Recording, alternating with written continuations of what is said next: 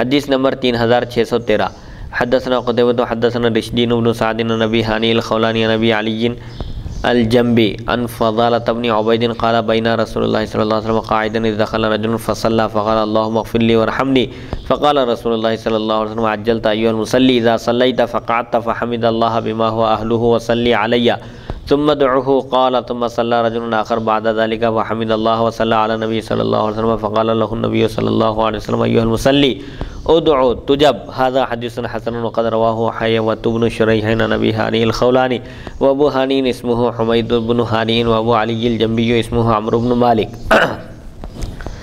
دعا مانگنے کا طریقہ اس حدیث شریف میں بتایا جا رہا ہے۔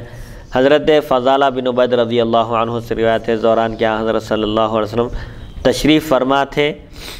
اچانک ایک شخص آیا اور اس نے نماز پڑھ کر یہ دعا مانگی اللہ مغفرلی ورحمنی اے اللہ، میری مغفرت فرما دے اور مجھ پر رحم فرما۔ تو نبی کریم صلی اللہ علیہ وسلم فرمایا، اے نمازی، اے مسلی، تم نے بڑی جلدی کی۔ فوراً نماز پڑھتے ہی دعا شروع کر دیے جب نماز پڑھ چکو تو بیٹھ جایا کرو، آرام سے اطمینان سے۔ پھر اللہ تعالیٰ کی شاع نشان، اس کی حمد و ثناء بیان کرو۔ پھر مجھ پر درود شریف پڑھو اور پھر دعا مانگو۔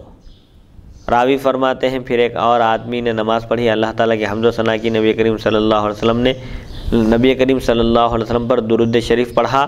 اس پر حضرت صلی اللہ علیہ وسلم نے فرمایا، اے نمازی، اے مسلی، اپنے پروردگار سے دعا مانگو، قبول ہوگی۔ تم جو دعا کرو گے اب قبول ہوگی۔ یہ حدیث حسن ہے، حیوت بن شرحنے سے، ابو ہانی خولانی سے روایت کیا۔ ابو ہانی کا نام حمید بن ہانی ہے اور ابو علی جنبی کا نام عمر بن مالک ہے۔ اس حدیث شریف میں دعا کرنے کا طریقہ بتایا جا رہا ہے کہ نماز پڑھنے کے بعد اللہ تعالیٰ کی شاع نشان اس کی حمد و ثناء بیان کرنا، پھر رسول اللہ صلی اللہ علیہ وسلم پر درود شریف پڑھنا، اس کے بعد پھر اپنی حاجت اللہ تعالیٰ کی بارگاہ میں رکھنا، پیش کرنا تاکہ اللہ تعالیٰ درود شریف کی برکت سے دعا کو قبول کر لے۔ جیسا کہ دیگر روایتوں میں بھی آیا ہے کہ وہ دعا جو بغیر درود شریف کے کی جاتی ہے آسمان اور زمین کے درمیان معلق رہتی ہے۔ یعنی جب تک نبی کریم صلی اللہ علیہ وسلم پر درود نہ بھیجا جائے، دعا قبول نہیں ہوتی۔ دعا کی قبولیت کا ایک وسیلہ اور ذریعہ ہے رسول اللہ صلی اللہ علیہ وسلم پر درود شریف کا پڑھنا۔ حدیث نمبر تین ہزار چھ سو پندرہ۔ حدثنا محمد بن غیلان المقری، حدثنا حیوت قال حدثني ابو هاني ان عمرو بن مالك مالك الجنبي اخبره انه سمع فضالة بن عبيد يقول سمع النبي صلى الله عليه وسلم رجل يدعو في صلاته سمع النبي صلى الله عليه وسلم رجل يدعو في صلاته فلم يصلي على النبي صلى الله عليه وسلم فقال النبي صلى الله عليه وسلم عجل هذا. ثم دعاه فقال له أو لغيره إذا صلى أحدكم فليبدأ بتحميد الله وثناء عليه ثم ليصلي على النبي صلى الله عليه وسلم ثم ليدعو بعد ما بعد ما شاء. هذا حديث حسن صحيح.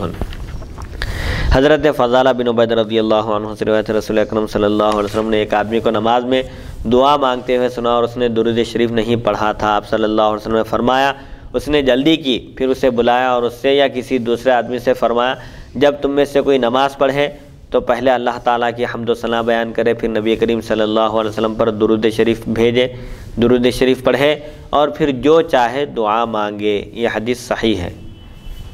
صحیح صحت کے درجے پر ہے، یہ حدیث صحیح ہے۔ اس میں تعلیم دی جا رہی ہے، طریقہ بتایا جا رہا ہے اپنی حاجت براری کا۔ اللہ کی بارگاہ میں اپنی حاجت پیش کرنا ہو، اپنے حاجات کی تکمیل چاہتے ہو تو پہلے اللہ تعالیٰ کی حمد و ثناء بیان کرو۔ اور پھر رسول اللہ صلی اللہ علیہ وسلم فرماتے ہیں، مجھ پر درود شریف پڑھو تو تمہاری، تمہارے مقاصد میں تم کو کامیابی حاصل ہوگی۔